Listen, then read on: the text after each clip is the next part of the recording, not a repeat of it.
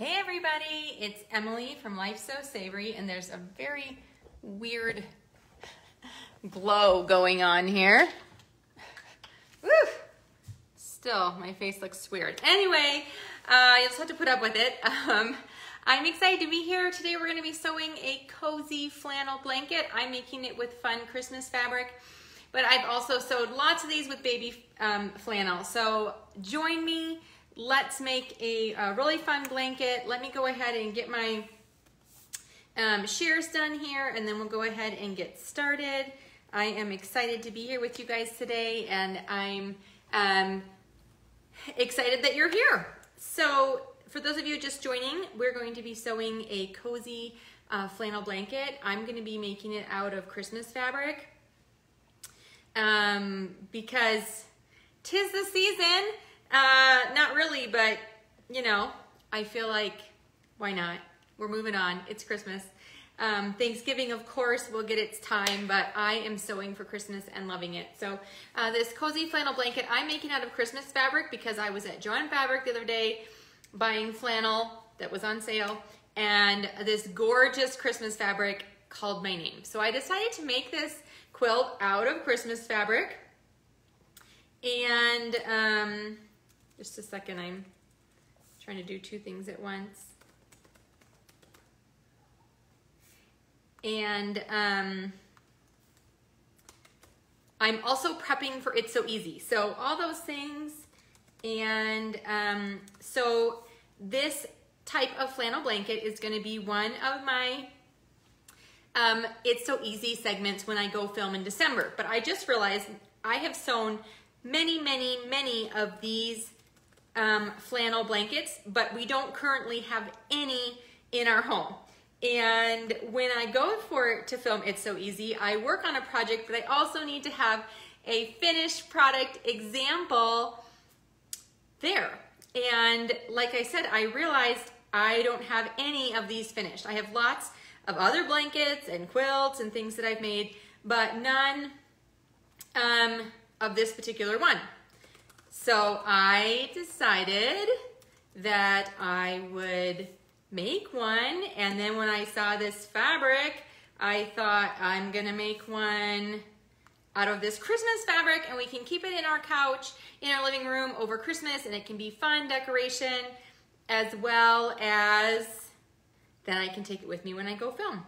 So all that to say, I have linked the tutorial that I am using um, in the description of this video. If you want to click through and check out sort of a baby version of this, it is my go-to favorite baby quilt because it sews up actually pretty quickly, um, unlike some of my other ones that I actually really love but take are really time consuming. So I started this one this morning. We're gonna work on it a bit more and then I'll finish it up and I'll show you the results next week, but it's gonna be fun. So, all right, I'm gonna focus here for one minute. I'm almost I'm ready to get sewing and show you what I've been working on. So say hi, let me know where you're watching from. Um, hopefully this, this is the distraction from everything going on in the world today, uh, especially in the US, and um, that you are here to just enjoy a fun tutorial, because that's what I'm going to do. So, um,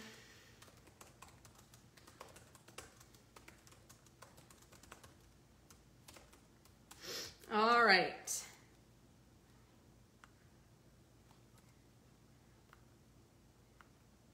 Check, check, check.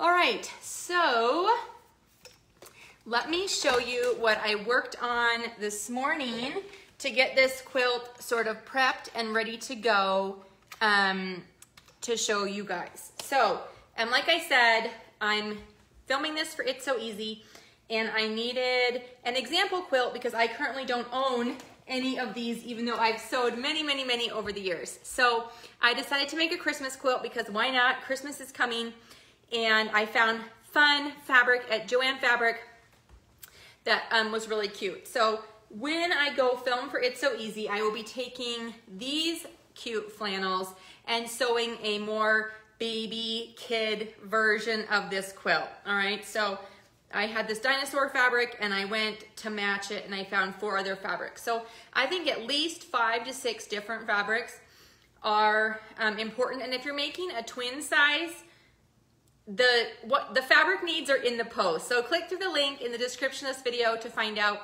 exactly how much fabric you used.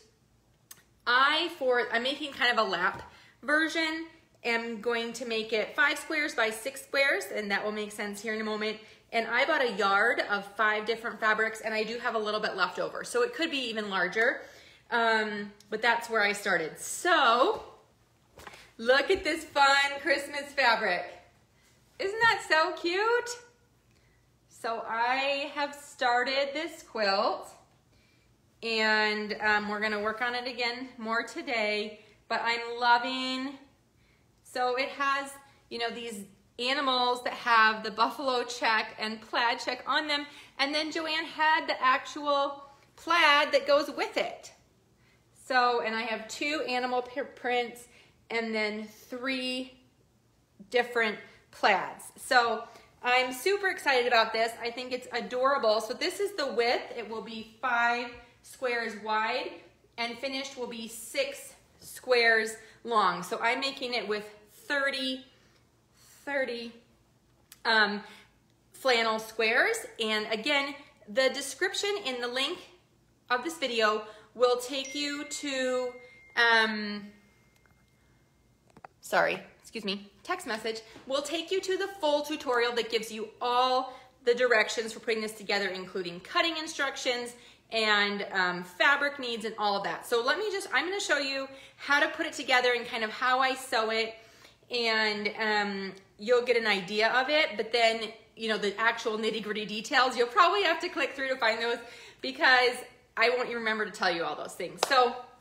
um, you want to cut squares of flannel, exhibit A, and squares of um, batting.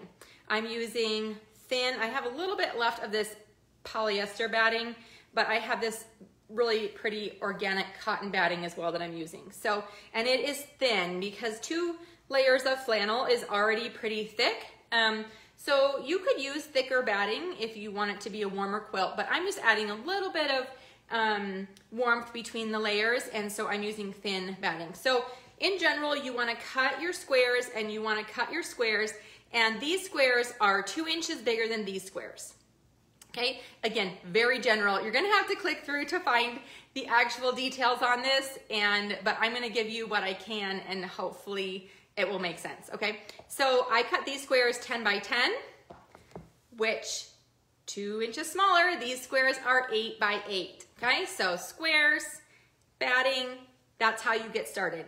Again, I'm making this out of five yards of fabric of five different colors and it will be a lap slash crib size quilt. So you might need a little bit more if you're gonna have bigger quilt. Now, the post goes into more details about this, but you can see these squares of fabric show on both sides. You don't have a quilt back that is solid because we quilt as we go, which will make sense in just a moment. Um, but so to do that, you have to think about what pattern and design you want when you're cutting your squares. I just decided for this one to keep it really simple by sewing the same two squares together. Okay, so small animals, small animals. So each of my squares assembly, which I will do here in a moment, are the same on both sides. If you look at the baby quilt that I made in the post, you'll see that the design on the front was different than the design on the back. So I had to think through as I was sewing the squares together, what was the front side, what was the back side, and I sketched it all out to create a design. So um, this is gonna be a more scattered design. In fact, I just decided that each row, each row will have one of each square, one of each square, and I'm alternating. So you can see, you know, the red buffalo moves one over, the deer print moves one over. So that's all I'm doing. Each row will have one of each square, but you can get into it and create lots of different designs and you can create a back and a front that have different designs if you think through that. But today we're just keeping it real simple. So I've already assembled a bunch of my squares. And by assembled, I mean a front piece of flannel, the batting in between, and a back piece of flannel. And you can see the flannel is facing outwards on both sides with the batting sandwiched between. I've already prepped all these squares, but I'm gonna show you how to prep a few more just to demonstrate because I want you to see kind of each step of this um, as we go. So let's take a look here. You can see my stack of flannel squares, 10 by 10. And I have, just the way that I cut them out of the fabric, um, I have them facing the right side out. So you take it, you open it up, you center your batting. Remember your batting is one inch smaller on all sides. My flannel squares are 10 inches. My batting is eight inches. So I have one um, inch all the way around. And I have six squares here that I'm gonna prep with you. And then we'll talk about how we're gonna sew. So um, how I do this is sort of assembly line, cutting, pinning, sewing. And we'll get more into the sewing, but what I did this morning is I cut six squares of each of the kinds of fabric. And I have five fabrics, so that totals, um, I'm sorry, I cut 12 squares, which will equal six blocks on the quilt. And I just cut fabric, cut fabric, cut fabric until I had all the squares cut, okay? So, um, like I said, sort of assembly line cutting. Then once I had those, then I cut all the squares of batting, eight inches, eight inches, eight inches, until I had my 30 squares of batting. And then I just went through and I actually was watching a show and um, oh my goodness, have you guys, I think it was out last season, but I've been watching A Million Little Things on, it's on Hulu. I don't know who originally put it out. Oh my goodness, it's so good. Anyway, sidetrack, I was watching a show, cutting, pinning, and assembling. And I left just a few squares to do this here with you. So you can see how I'm just putting them together, the batting's in the middle, the flannel faces out on both sides. This is technically a quilt as you go quilt because we don't have a front and a back. We just, as we sew, the quilt is created. Um, so I will show you each of those. And this is where your long pins come in handy. And you can see I'm just putting one pin in the center of each square to kind of hold it together. Okay, so now I have the rest of my squares completed and I have the start of my quilt that you guys can see. So what I need to do is lay out my pattern or my quilt so that I can lay out the next row um, to get the order. So I, would, I usually do this on the floor, okay? So I can really see what I'm doing and really lay it out. But all I'm doing is shifting the blocks over one. So on the end here was this print, so that will become the first one. And then um, we go back and we start the design over. So we're looking for a green and then a small animal and then a red square and then a large animal. Okay, so now I have those laid out and then what we're going to do is we are going to go over and quilt an X on each of these um, squares. So I'm gonna try to layer them and I probably will double check because I have sewed this wrong before and then you, it's a lot of picking to undo it. But I'm, I'm gonna quilt them and then sew them together in a strip to add to this quilt. But we'll probably check to make sure the order is correct after we do the quilting part so that we don't have to unpick anything um, in the end. Okay, so now um, for this, I'm just using my regular sewing machine with a regular straight stitch and it has the normal stitch length, which is 2.5. I'm not really adjusting anything. And your stitches will be seen. So you wanna set a color for both the bobbin and the top that you like. And I'm using navy blue because I think it um, coordinates and works really well with the fabric that I'm using. Um, and adds just another layer. So, but you can use whatever color you want, but know that you will see your stitches, okay? So the first thing I'm gonna do is chain all these squares together, sewing diagonally across each one. Now you could sew, stop, sew, stop, and finish each square individually. But when I'm doing 30 squares or 60 squares, depending on the size you're making of this, I find it easiest just to chain them all off and sort of, again, mass produce them. So I'll show you how I do that here. And you also do not need to backstitch because we're going to keep sewing around this square and um, it just makes it easiest if we just keep sewing. So you don't worry about backstitching and I just keep going and um, that's my method. So I would love to hear while I'm doing this if any of you have made this sort of frayed flannel rag quilt before. It's a popular style. I didn't invent it, but I have been sewing it and writing about it, um, this style for many years. Um, but it's it's just a really fun one to sew because it's quilting, but it's not really quilting. And you guys know me, I'm not really a quilter. I'm a sewer, and um, I don't really quilt. Okay, so now I've sewed off one square, and then we sew on to the next. Again, sewing diagonally across. Okay, so Gertrude, I'm just winging it. I don't use a guide. I'm aiming from one corner to the next. If it has a print on it, sometimes that's helpful. You can see I'm actually using kind of these diagonal squares as I sew across them. Not all my lines are perfect, but you can just sort of straighten back up as you get to the other corner. So I don't use a guide, I don't use any lines. When I'm sewing later and we'll use a one inch seam allowance, of course I use the one inch guide on my sewing machine, but for this diagonal, I just sew right across, kind of keeping my eye on this opposite corner, and that helps me to keep it straight enough. So if you don't feel like you can be straight, then you're gonna wanna use a um, water soluble um, or air soluble, probably water soluble because the air might disappear too quick.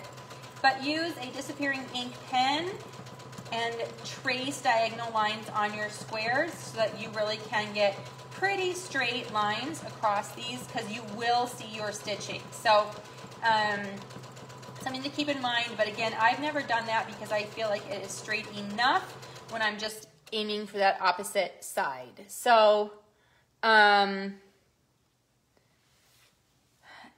so there we go. Okay, Vanessa, a t-shirt quilt. Okay, so I've only made one and I'll tell you my experience as a what not to do for a t-shirt quilt. So my husband had all these t-shirts from college and I didn't really want him wearing them anymore because they were ridiculous. So I said, let me make you a t-shirt quilt.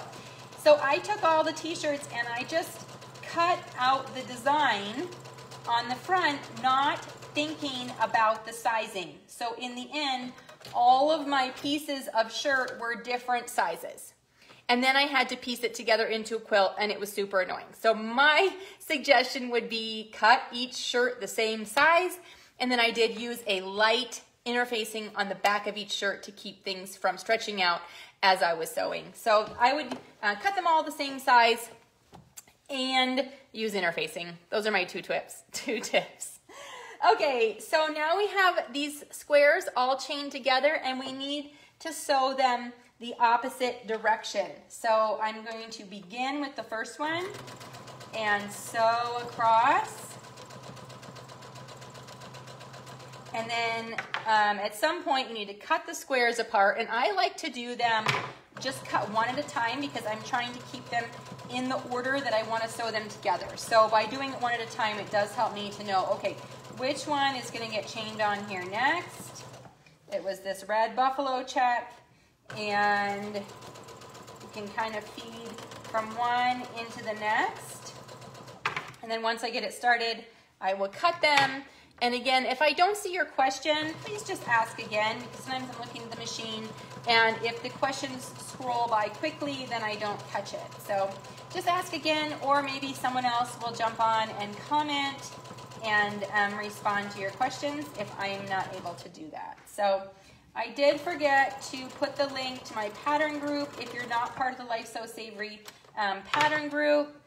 Um, just search Life Sew Savory pattern group on Facebook and you can find that. And that's a great place to show off all the things that you're making as well as ask questions. So if you're in the middle of making something and you get stuck, it's a great place for either me to help you or I have such a great community of others who are supportive, kind, uplifting, and are willing to help others out.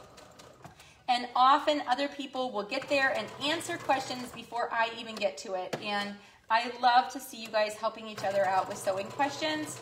Um, and it's a great place. So if you're not part of that group, there are 15,000 of us there who are wanting to help you out. Um, and you can show off what you're making and then get tons of people to um, see it. So that's just really a fun place to join. So um, find it on Facebook, answer the questions that I ask, and then I will go through and accept those requests um, later today. So just something fun for you to check out if you're looking for another sewing community on Facebook. Um, so you can see sometimes how, because I'm feeding one into another, the fabric gets stuck down in the machine and I have to lift the presser foot and before I keep sewing. But again, we're not back stitching, we're just sewing straight across the squares on the diagonal to stitch as we go and quilt as we go these squares. Now, if I was um, going to be so to be doing the whole quilt um, in one go, which uh, normally I would. I wouldn't be um, doing row by row. I would do all the squares, then I would lay out the whole quilt, then I would sew the rows, then I would row the rows together, sew the rows together, okay? Um, but I want to show you more of the process, so I'm slowing down and doing part of it before I've done all of it. But normally what I would do is I would take my pile of squares and I would do this chain through the whole pile, all 30 of them through, then I'd turn it and X them the other way, all the way through before I even went on to step two. Um, but today I'm going to sew the row, the next row, so that you can see because we're not gonna be sewing the whole quilt together, okay? So that's normally what I would do is I would take all of these pieces and um, sew them together first, okay? So I'm gonna cut these apart and I'm laying them back down on the quilt that I've already started. Okay, um, to make sure that it's the order that I want. Thank you, I can't, who, June. I love this fabric too, and I wasn't gonna make a Christmas quilt. I actually went to Joann's to buy um, to buy flannel because it was on sale last weekend and I was thinking of just buying something. I often like to sew like baby blankets and I just have them on hand. And if someone we know has a, a baby, I can just give a gift.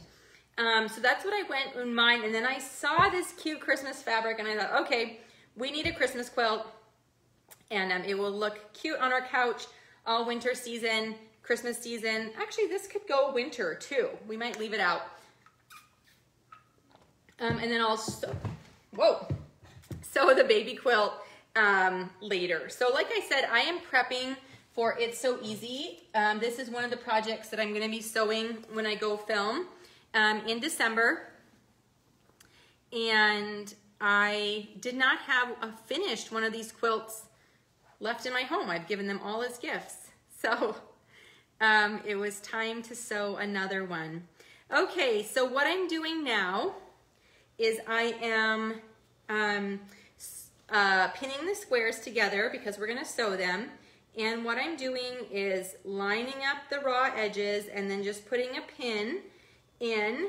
And um, what you wanna make sure of is that all of your raw edges are facing up the same direction because you can see on this quilt, we actually have exposed um, edges and all of them need to be on the same side of the quilt. So, and just before you, I went live, I was sewing this together and I had sewn all the pieces this way the right way, but when I went to put the rows together, I sewed it the other way, and so I had to pick it out because the seam allowance was facing down instead of up. So, well, well, yeah.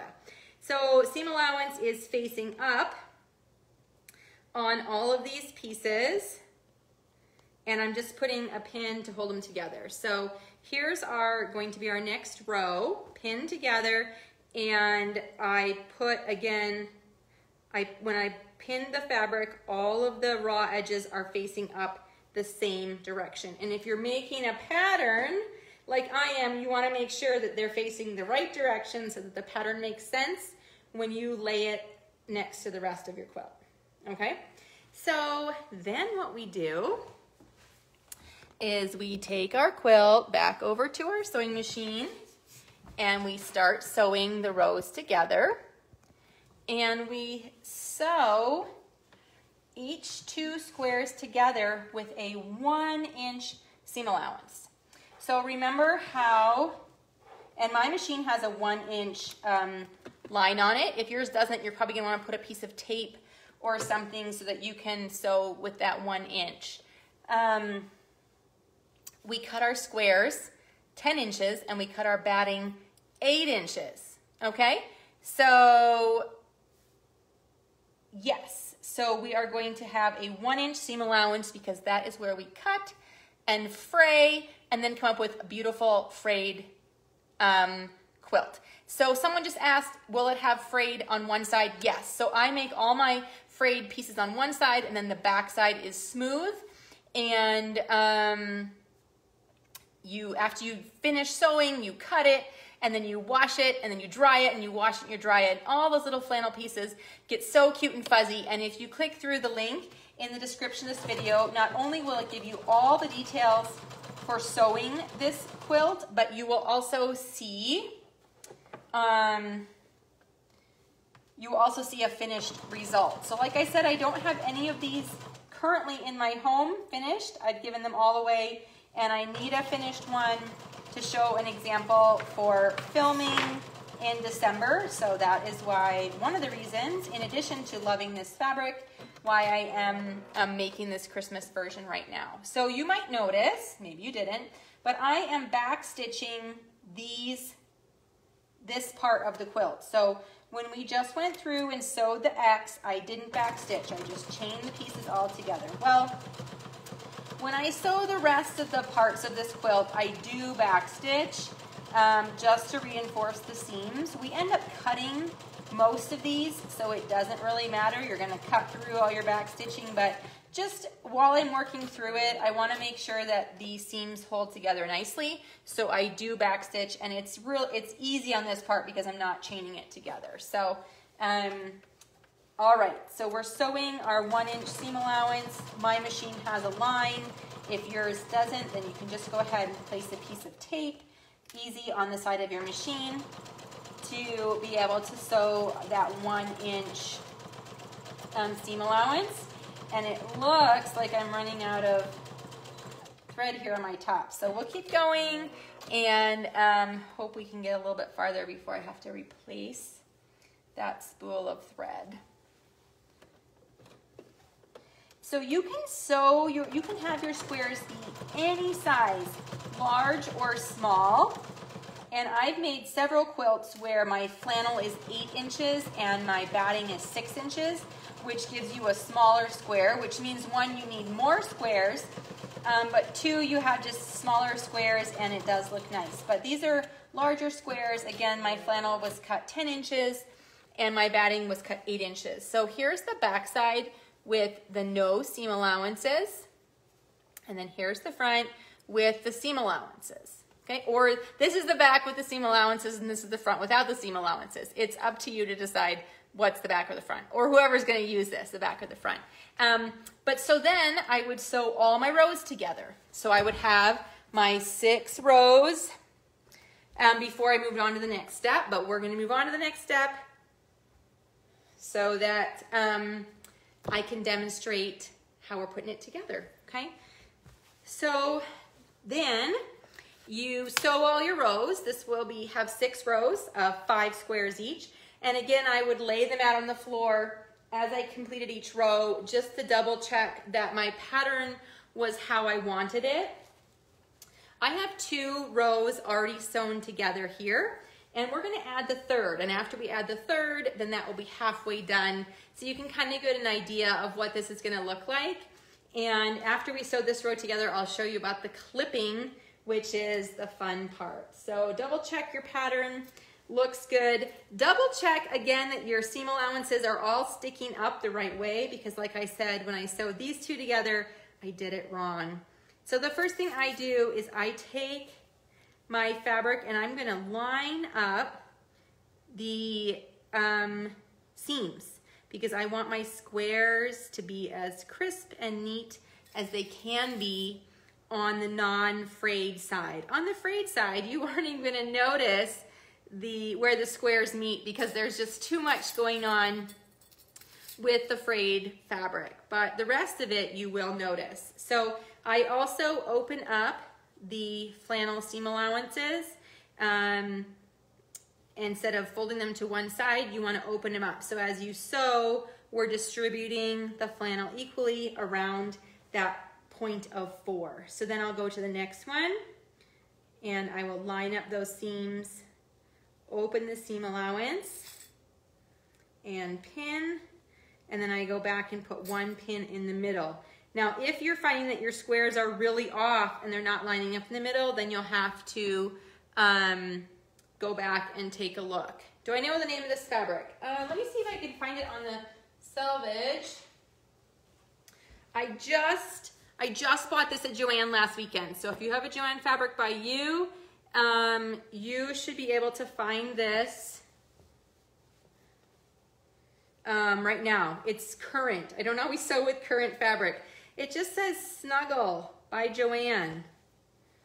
Um, yeah.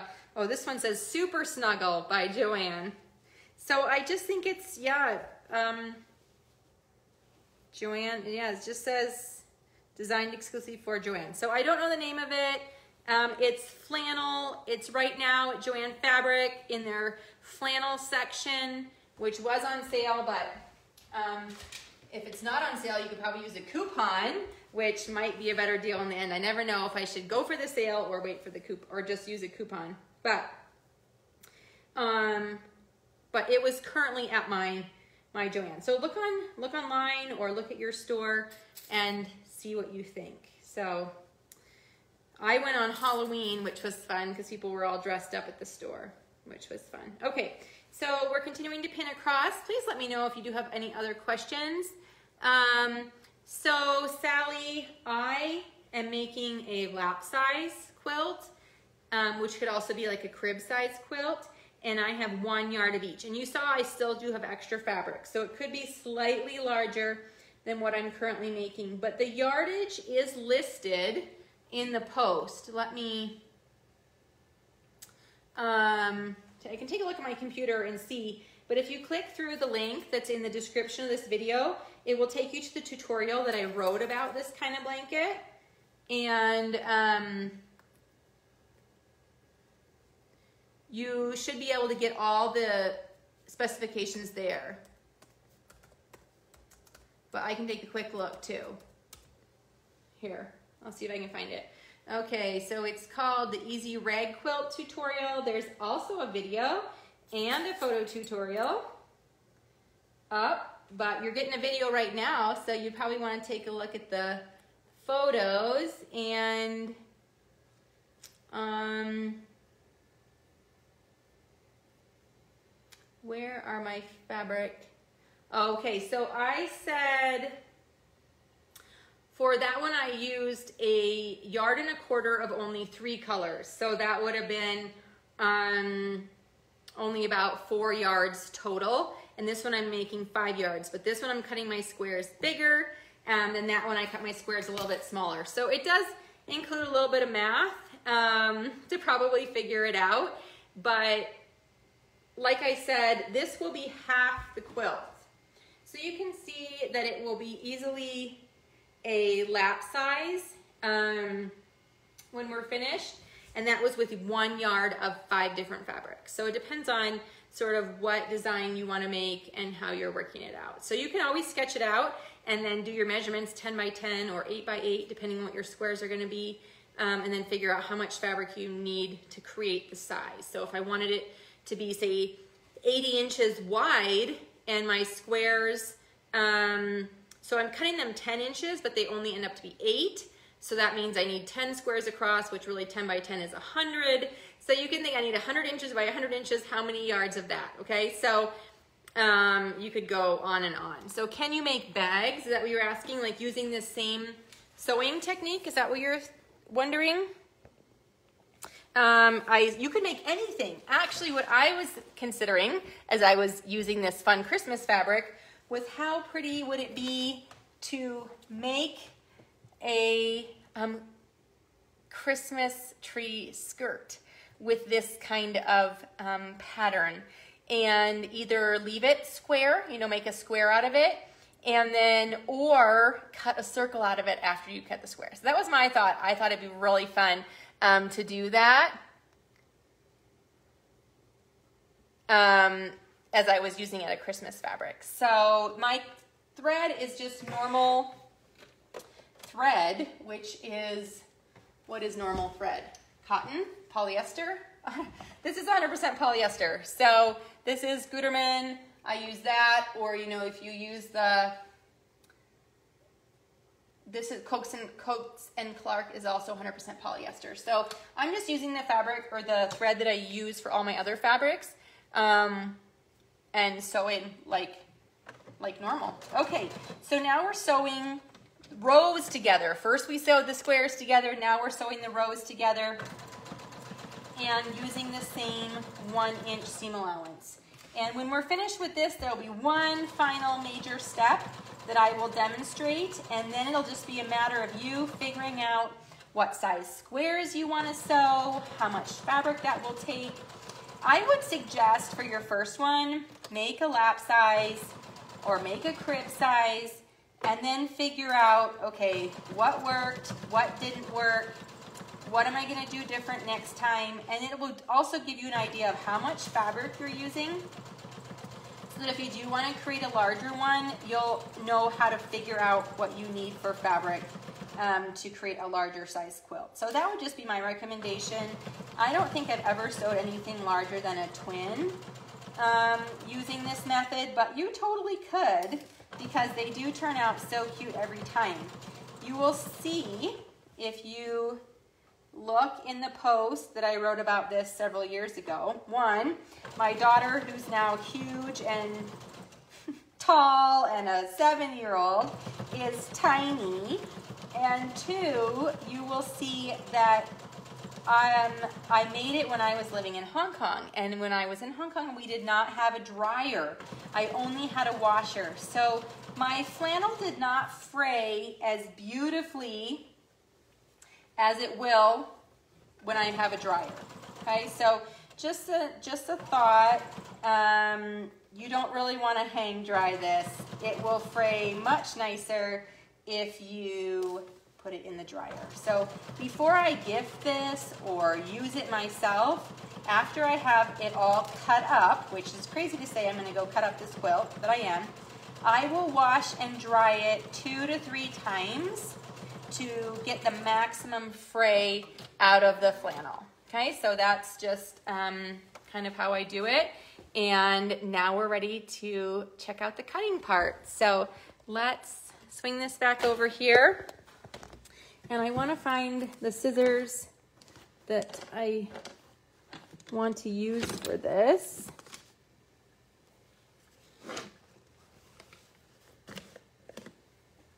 Sorry, of course, they're in a drawer with lots of other things.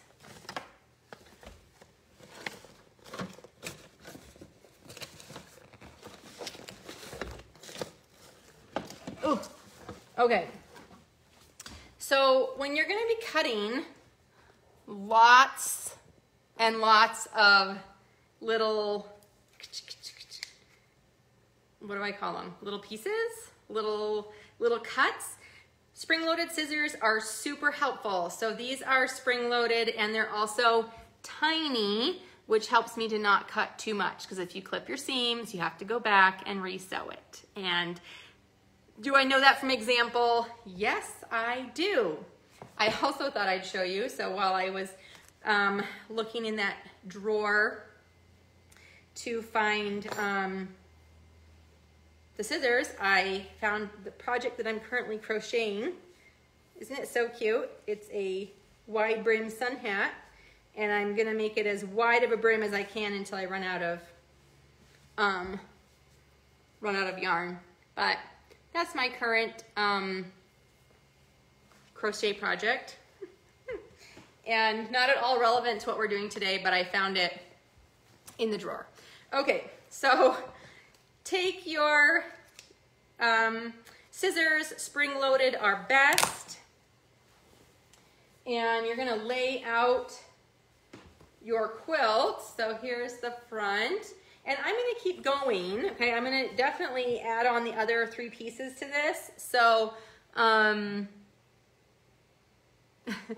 uh, so I'm not gonna finish. So after you get all your rows together, in order to keep the the edges of the fabric um, from fraying too much, what you do is you go ahead and you stitch a one inch border, opening up the seam allowances, all the way around the perimeter of the quilt. And then you snip that perimeter so that the edges are also frayed. You could finish this with, um, you know, satin quilt, but maybe quilt binding as well, however you want. But if you're gonna fray it, you first need to stitch the one inch around before you cut it. So I haven't stitched the edge yet, so I'm not gonna cut any of those, but what I am gonna do is cut some here in the middle um, that I'm finished sewing on all the edges, and then um, you'll just kind of see how, how it goes. So um, again, you don't wanna cut the stitches, because if you do, you're gonna have to go back and uh, resew those.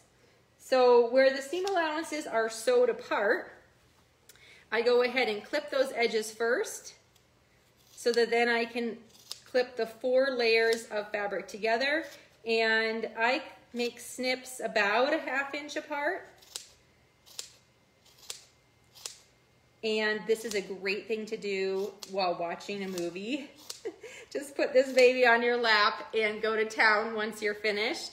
Um, but, you know, here, we're just gonna, I'm just gonna cut a few of the pieces. I'll cut around this square to show you.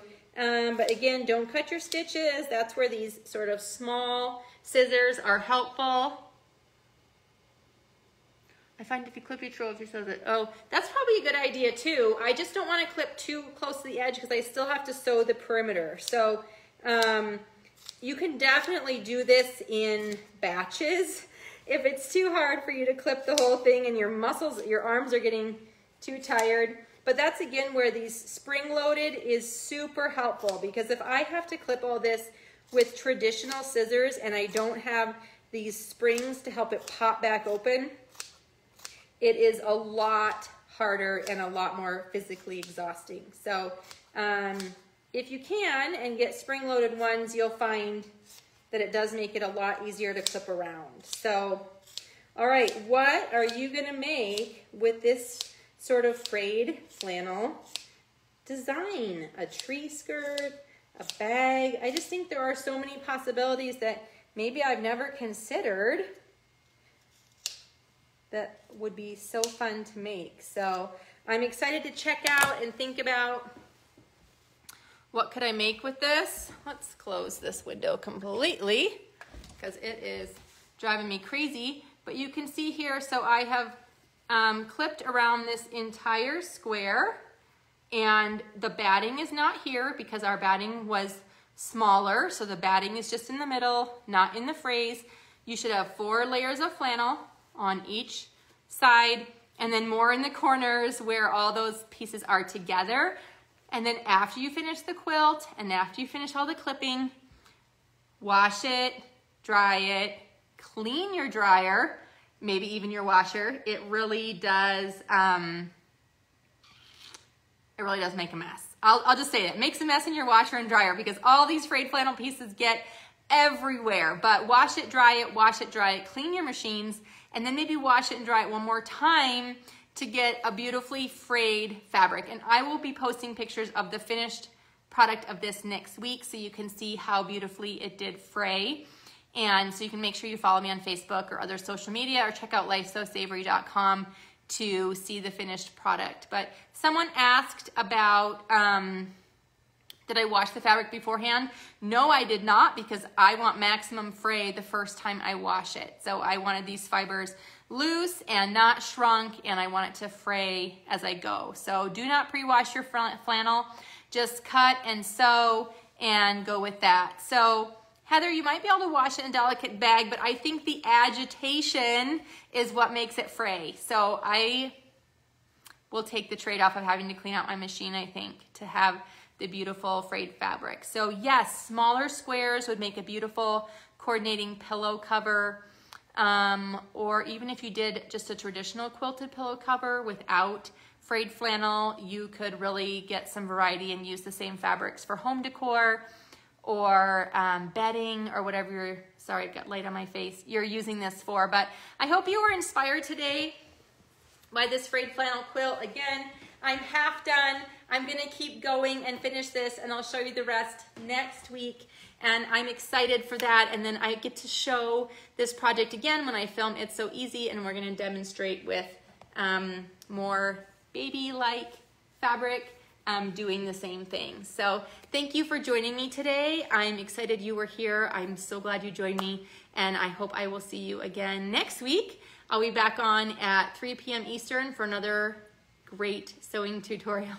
Looks Canadian, maybe, looks just kind of winter to me, but um, I live in Colorado, so this reminds me kind of of mountains in Colorado and the lights on my face are so weird. Anyway, Thanks for joining me. I'll see you next week. Have a great weekend. Bye.